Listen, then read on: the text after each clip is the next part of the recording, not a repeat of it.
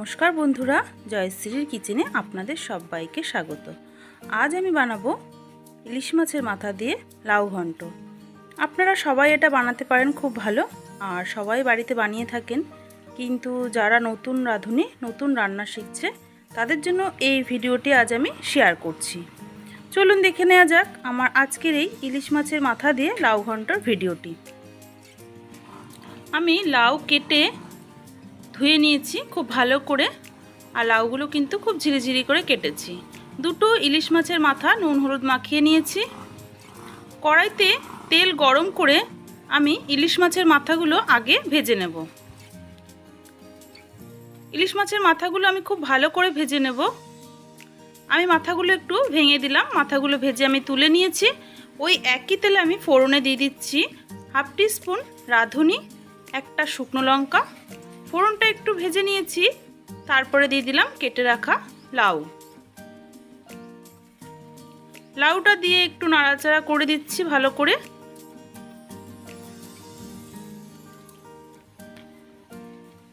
পাঁচ ছটা কাঁচা লঙ্কা আমি চিড়ে দিয়ে দিলাম।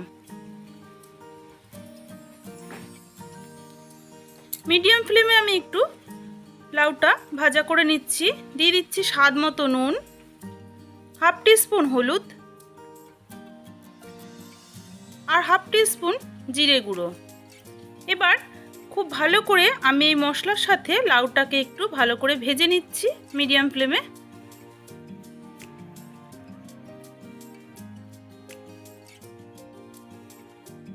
লাউয়ে কিন্তু কোনো জল ব্যবহার করতে হবে না, কারণ লাউয়ের থেকে কিন্তু প্রচুর পরিমাণে জল বেরোবে।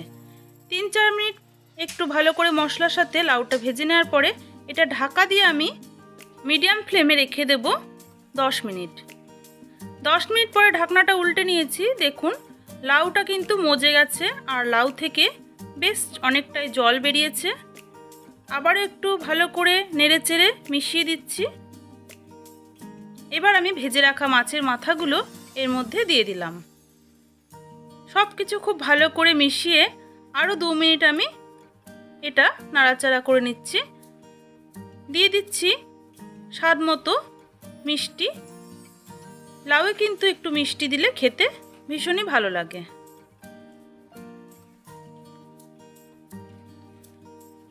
একটু নেড়ে চেড়ে আবারও আমি এটা ঢাকা দিয়ে দেব পাঁচ মিনিটের জন্য মিডিয়াম ফ্লেমে। পাঁচ মিনিট পরে ঢাকনাটা উল্টে নিয়েছি। লাউয়ের জলটা কিন্তু শুকিয়ে গেছে আর লাউ কিন্তু একদম সেদ্ধ হয়ে গেছে। আরও দু মিনিট আমি মিডিয়াম ফ্লেমে লাউটা একটু নাড়াচাড়া করে দিচ্ছি। এর ভিতরে যে এক্সট্রা জলটা রয়েছে, সেই সমস্ত জলটা আমি শুকিয়ে নেব। লাউয়ের জল থাকলে কিন্তু খেতে ভালো লাগবে না। লাউটা কিন্তু আমি নাড়াচাড়া করতে করতে সমস্ত জলটা শুকিয়ে নিয়েছি আর লাউ থেকে তেল ছেড়ে দিয়েছে। ঘন্ট কিন্তু একদম রেডি হয়ে গেছে। গ্যাসের ফ্লেমটা আমি অফ করে এটা সার্ভ করে দিচ্ছি। রেডি হয়ে গেল আমার আজকে ইলিশ মাছের মাথা দিয়ে লাউ ঘন্ট। এটা কিন্তু ভাত, রুটি সব কিছুর সাথে খেতেই ভীষণ ভালো লাগে। এই একই রকমভাবে আপনারাও একবার ট্রাই করে দেখতে পারেন। আশা করি আপনাদেরও ভীষণ ভালো লাগবে। আমার রেসিপি ভালো লাগলে কমেন্টের মাধ্যমে জানাবেন লাইক করবেন শেয়ার করবেন। আর আমার চ্যানেলটিকে যদি সাবস্ক্রাইব করে না থাকেন তাহলে আমার চ্যানেলটিকে সাবস্ক্রাইব করে নেওয়ার অনুরোধ রইল। পাশে থাকা বেল আইকনটি অবশ্যই প্রেস করে দেবেন, কারণ আমি চ্যানেলে যখনই কোনো ভিডিও শেয়ার করব, নোটিফিকেশান পৌঁছে যাবে আপনাদের কাছে। আবারও হাজির হয়ে যাব অন্য কোনো ভিডিওর সাথে। ভালো থাকবেন, সুস্থ থাকবেন, ধন্যবাদ।